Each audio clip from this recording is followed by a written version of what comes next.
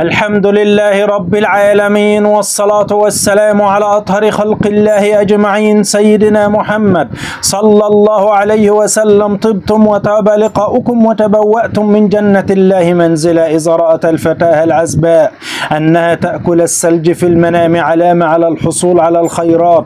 الفترة المقبلة لهذه الفتاة والله أعلم.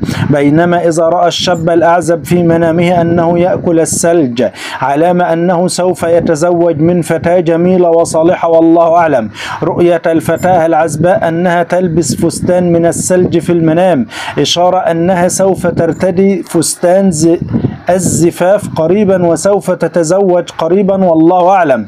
رؤية أكل الثلج في المنام دليل أن صاحب الرؤية لديه عديد من الأموال ولكنه يقوم بإنفاقها بطريقة غير صحيحة والله أعلم. إذا رأى النائم في منامه أنه يمشي على الثلج دون إلحاق الأذى به. رؤية محمودة تدل على الرزق والخير الوفير لصاحب الرؤية رؤية المشي على الثلج في المنام يكون دليل على حصول صاحب الرؤية على كثير من الأموال الفترة المقبلة. بينما إذا رأى النائم في منامه أن الثلج على هيئة مكعبات علامة على المال والرزق الوفير القادم إليه في الحياة. رؤية المريض يأكل الثلج في المنام علامة على الشفاء العاجل والله أعلم.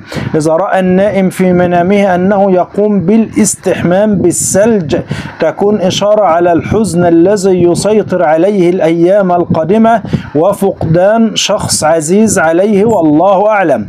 بينما تدل رؤية الاستحمام بالثلج في المنام علامة أن صاحب الرؤيا سوف يدخل السجن وسيرى هيرى مشاكل كتيرة جدا بدخول السجن والله سبحانه وتعالى أعلى وأعلم. لا تنسوا قراءة